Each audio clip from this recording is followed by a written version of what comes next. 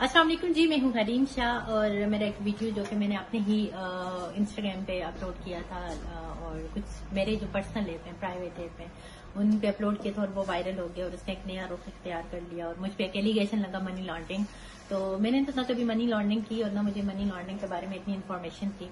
वो just fun में, मज़ाक में मैंने एक वीडियो बनाया था और वो मैं अपने भाई के ऑफ़िस में आई थी, कुछ अमाउंट वगैरह पड़ी हुई थी तो उनकी परमिशन से मैंने वो वीडियो बनाया और वो अमाउंट भी कोई इलीगल नहीं थी। कोई ऐसा ऐसा नहीं था कि वो डरते कि वीडियो क्यों बना रहे हो।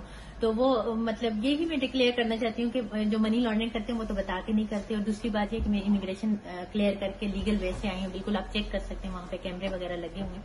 तो मैंने कोई मनी लॉन्ड्रिंग नहीं की और ना मुझे मनी लॉन्ड्रिंग के बारे में इतनी इन्फॉर्मेशन है।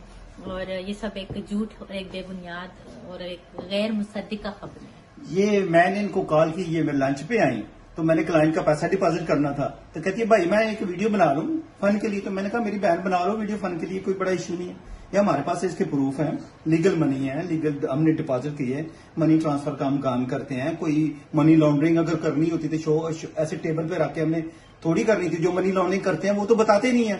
और मिली मिलीनर लोग हैं जो मनी लॉन्ड्रिंग करते हैं वो, वो किसी को पता नहीं उनके बारे में बात ही नहीं करते। ये छोटी सी मोहन सी और इसको लेके इतना सोशल मीडिया पे या हर दवा पे गवर्नमेंट पीछे पड़ी हुई है दिस एंड दैट ये लीगल मनी है हमने पैसे डिपॉजिट का है हमारे पास प्रूफ है।